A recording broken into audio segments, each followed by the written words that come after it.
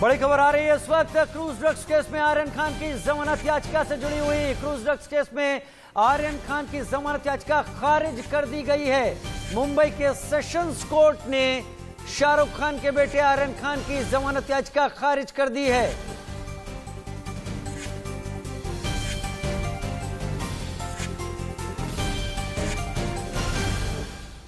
अभिषेक शर्मा, मेरे साथ ज़्यादा जानकारी के साथ इस वक्त मुंबई से जुड़ गए हैं। अभिषेक, क्या पता चला है वकीलों के ज़रिए? किन ग्राउंड्स पर?